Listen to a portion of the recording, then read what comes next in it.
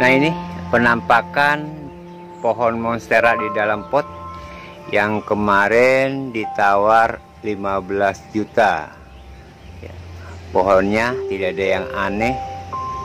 Kemudian mempunyai ekor yang cukup panjang.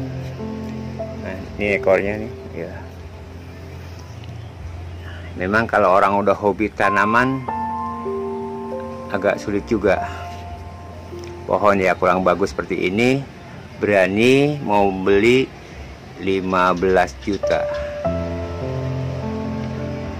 Aneh. Padahal tidak ada istimewanya